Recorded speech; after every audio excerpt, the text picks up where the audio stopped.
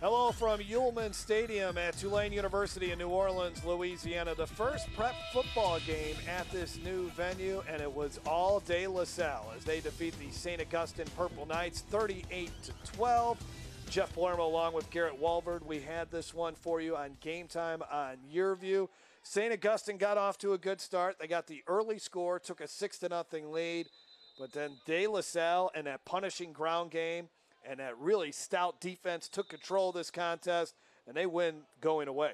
De La Salle has won 23 of their last 24 games in the regular season, and they did so in convincing fashion tonight. Two turnovers that both led on scoring drives for their offense, and Julien Gums, really the story of the game. I mean, he was a man who would not be denied tonight. You watch some of his running on these highlights, and he, he just wouldn't be stopped. Very impressive. As uh, we mentioned earlier, St. Augustine got off to the quick start in this game as the LaFrance punches it into the end zone, an early 6 to nothing lead.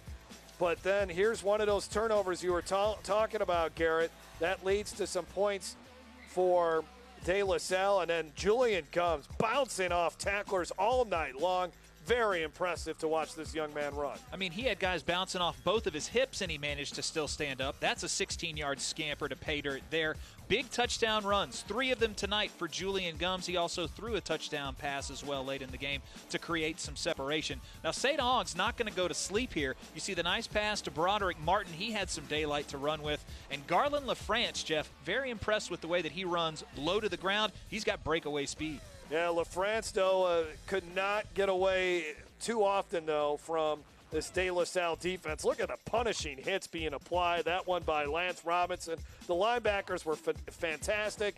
Gum now shows off the arm as he hits Marquez, Aaron Marquez, in the end zone for that touchdown. That capped the scoring in this one.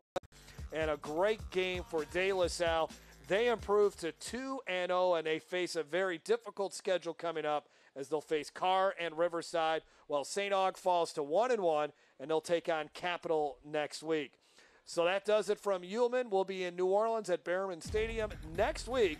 Landry Walker taking on Warren Easton. Until then, thanks for watching Game Time on YurView.